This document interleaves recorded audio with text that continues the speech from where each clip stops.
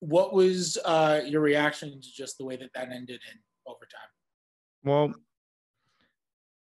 there's games throughout the years, I mean, throughout the season that you just like nobody deserves to lose, and tonight was one of them. Both teams played extreme, extremely hard and elite level uh, offense, and it came down to who made uh, one more shot.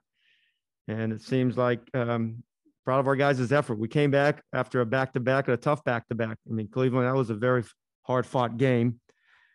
Uh, but yeah, we had we had plays. We had plays down the stretch. Um, we made, and they made plays down the stretch. It was a we fouled them too many times, and they didn't foul us enough.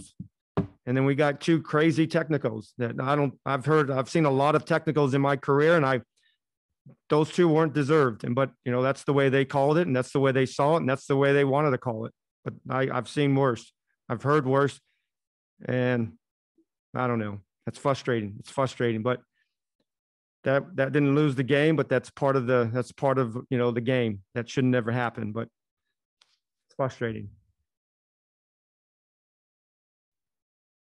Kellen. Hey Scott, um, what do you take away from the eight game win streak that was snapped tonight? But when you look back at that win streak, what do you, what do you take away from that?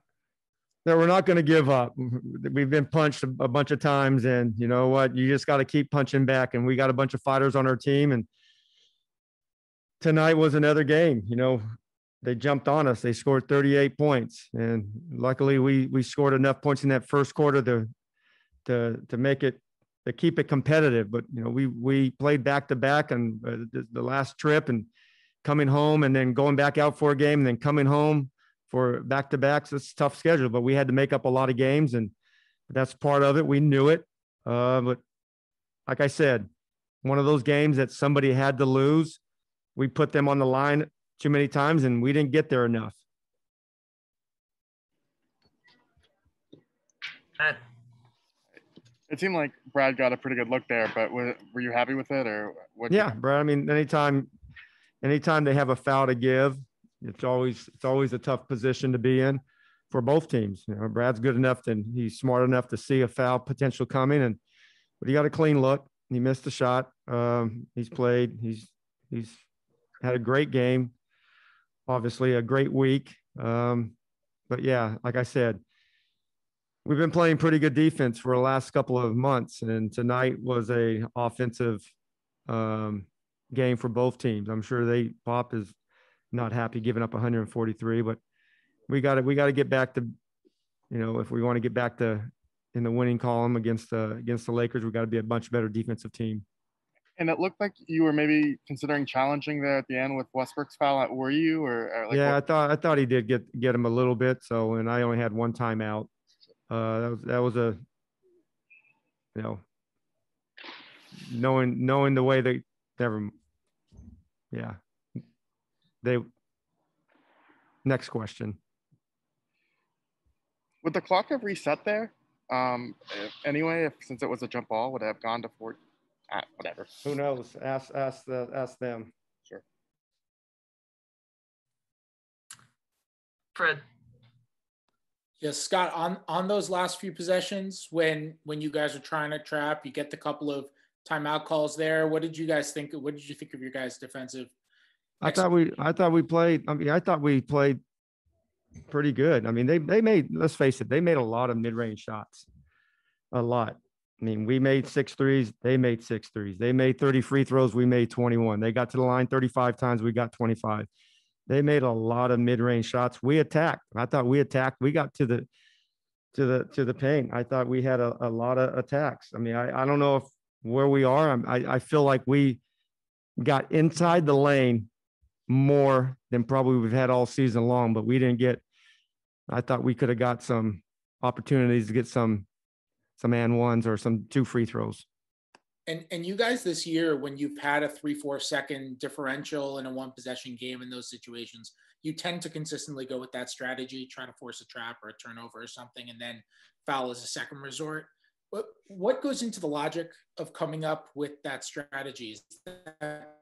Just um, This thing. I usually, I usually go right, if it's four, four seconds, it was, it was borderline. I think it was three, five or three. It was close tonight. It was a, it was a, a tough decision, but I, I went the other way. Usually if it's a little bit more with four seconds, I would, three, eight, three, four seconds, I would have definitely played it out.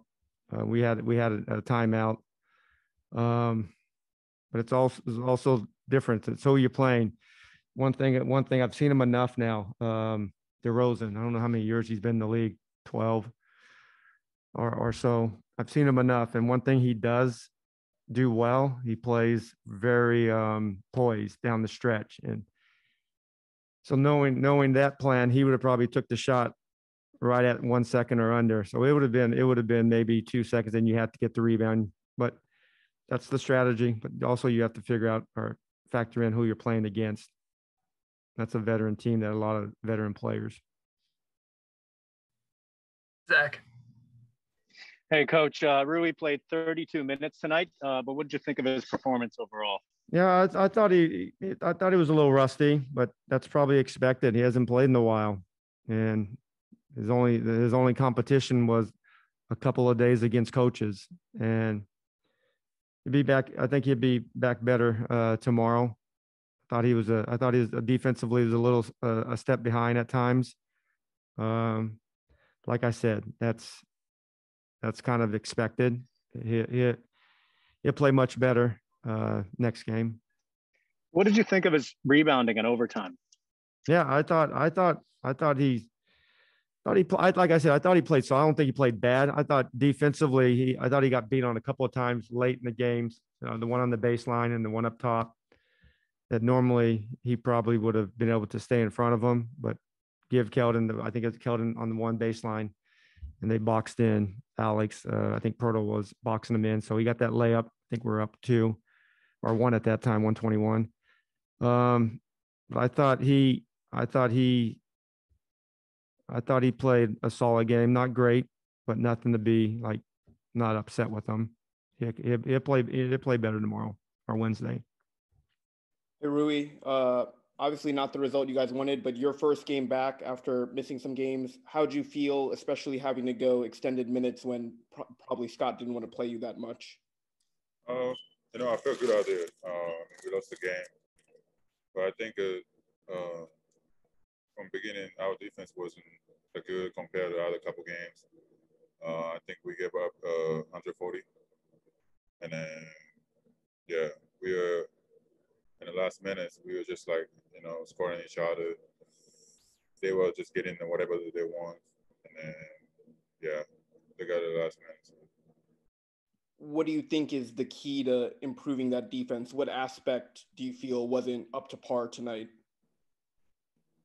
Um, I, I just think that tonight we didn't have a good energy on the defense. We, um, offense side, we are we are playing good. You know, we are sharing the ball, uh, making the shot. But the defense side, we are kind of um, just giving them whatever they want. You know, we are fouling a lot the first quarter. I think we our all bigs, two guys got in the foul trouble, and then that kind of hurt us. You know, and then I mean, AJ step up and then he he did a good job, but you know, they we I think we gave them a rhythm, rhythm, and uh, yeah, that, that's kind of hard. Ava, Rui, just wondering how the knee is feeling after your first game back. Uh, that's all right, you know.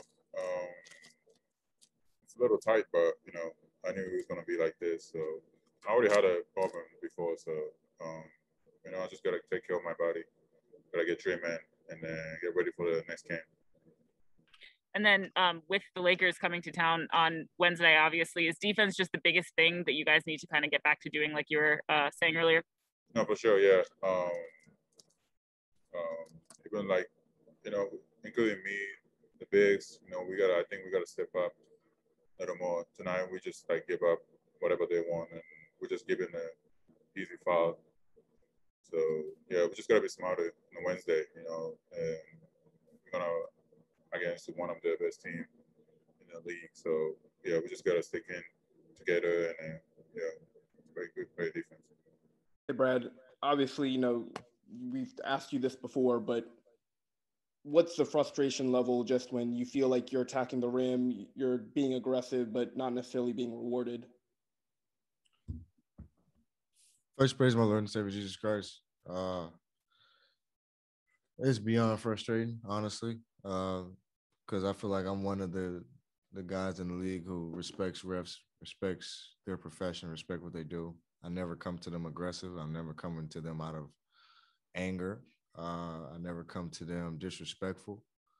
Uh, and they all know that. And I make sure I reemphasize that every time I speak with a referee. Uh, and they all agree upon it that I'm not that type of guy. And to still not get rewarded for blatant fouls is ridiculous. But I, you know, they're they they they're not perfect. They're gonna miss calls just like we miss shots. So teach his own.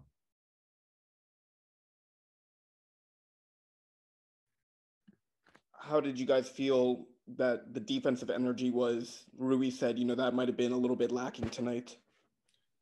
Yeah, it was bad.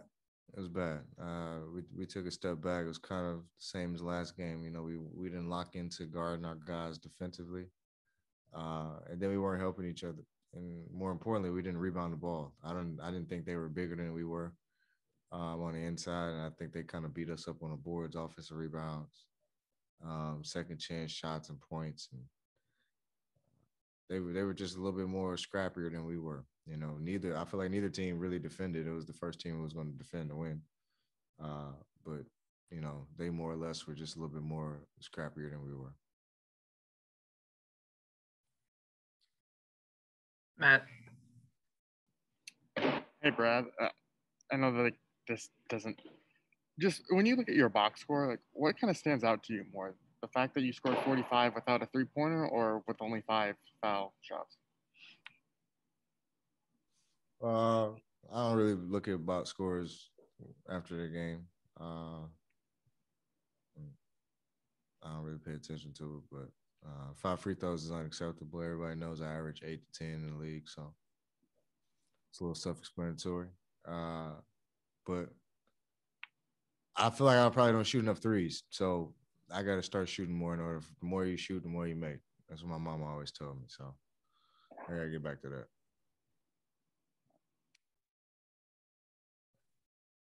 Uh, anyone else? Oh, Ava, go ahead.